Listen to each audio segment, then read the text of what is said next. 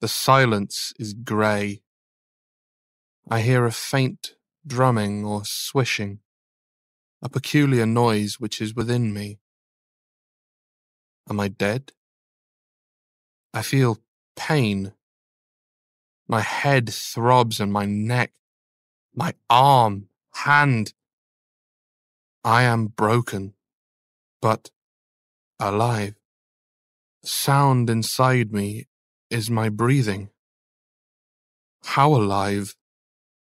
I lift my right hand and touch my cheek, my throat, my forehead. A whisper, a croak, a humming from my throat. It is me trying to speak. Where am I?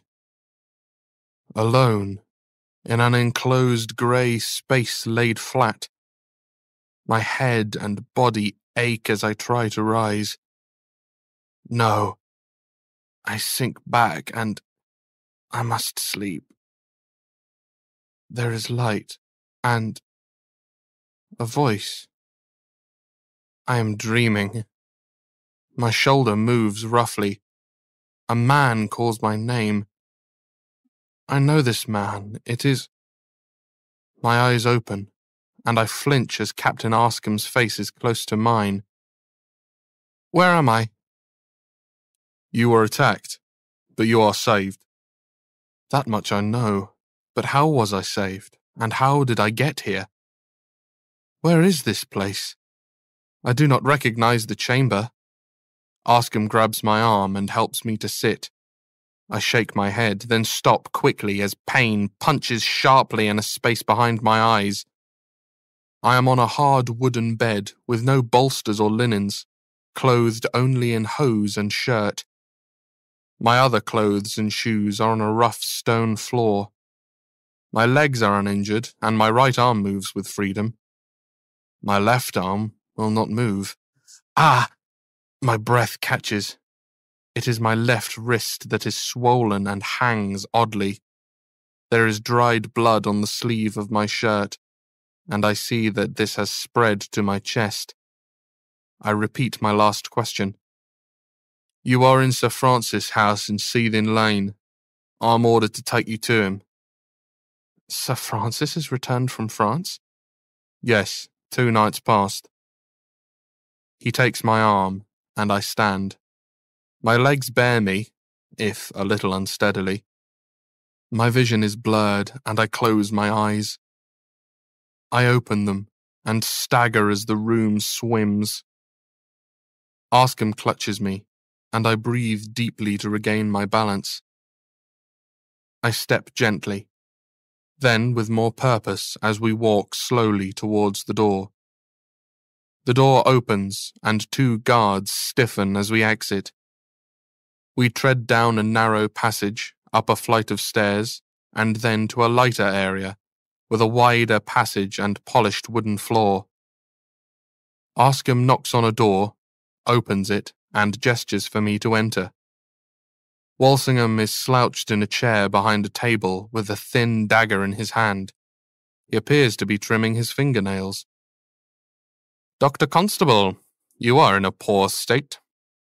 Ah, yes, forgive my appearance, Mr. Secretary. I was attacked. Indeed, your wounds have not been dressed, but you have been examined. Your wrist is damaged and your head will be sore, but I am told that you have no mortal injury. My senses are not fully recovered, but I detect a coldness in his manner. Why have I not been treated with more care and comfort? A bare room, hard bed, wounds undressed, no refreshment offered? Something is amiss a wrongness in the air. How was I saved? You were followed. It is fortunate for you that the captain was close by with another man. Why was I followed? He ignores my question and asks one in return. Why have you visited the house of Sir George Morton? I. I heard of his great venture with Captain General Hawkins, and it stirred my interest in the art of ship navigation again. It is somewhat coincidental that your interest was revived a day or two after your consideration of the chart and coded messages at Barn Elms. That is all it is, a coincidence. Is it also a matter of accident that Dr. Dee's library was burned shortly after your first visit for many years? I do not think that was ill fortune. I believe it was planned because word had reached the conspirators about the search for Millen Dr. Fox and Captain Arscombe agree with me on this. He is silent for a while and continues to trim his fingernails. He says, Why do you think you were brought to me at Whitehall that night? Was it because I suspected some hidden talent in you for solving ciphers? Your expertise in astrology, perhaps? Or was it a chance plucking of a name out of thin air? You stated that it was my association with Dr. Dee. Ah, yes, I remember. When you arrived that night, you will have seen the corrupted bodies of three men, freshly killed for their treason. One of those men cried out your name through the agony of cracking limbs. Godfrey Baskin.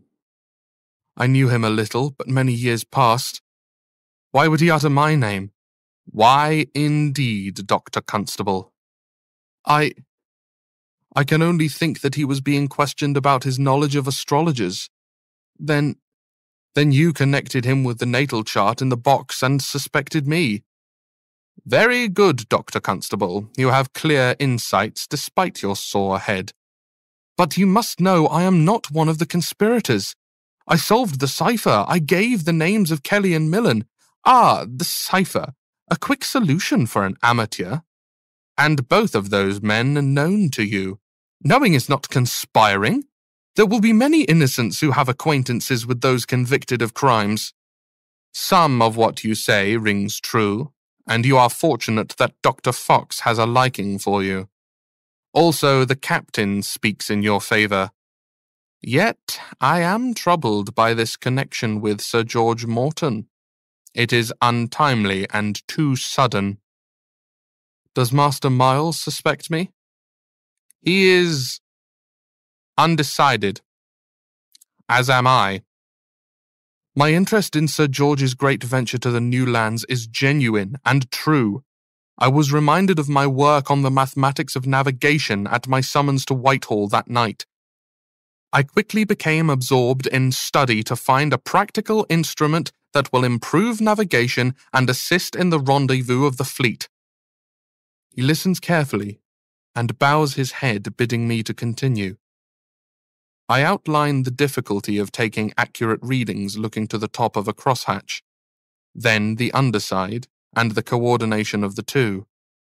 I detail my solution, and he offers paper and quill so that I can sketch my design. He takes the finished sketch, tilts his head this way and that to mimic its use, and replaces it on the table. Very well, Dr. Constable. I believe you. The story you tell is too real and complex for it to be a screen for some other purpose. Please forgive our hard treatment of your injured body, but perhaps there will be compensation in the thought that our suspicions helped to save your life. I had not realized that my body was so tightly coiled until it eases on the utterance of those words. I do not have to mention my attachment to Helen as a further reason for connection to Morton and the probing into her background. Despite his acceptance of my story, I do not have a sense that my position is fully secured with Walsingham. Nevertheless, I must ask a question that nags my thoughts. It was a great surprise to see Master Baskin tortured and killed. From my earlier knowledge, he had no leanings towards Rome and possessed a balanced temperament. How were you convinced that he had turned to wicked Catholic treason? He puts down his dagger and raises his eyes. Ha! It is a wonder you return to the subject of Baskin and his Jesuit associates. His mind was distracted by a woman. His wife was secretly devoted to the Catholic cause,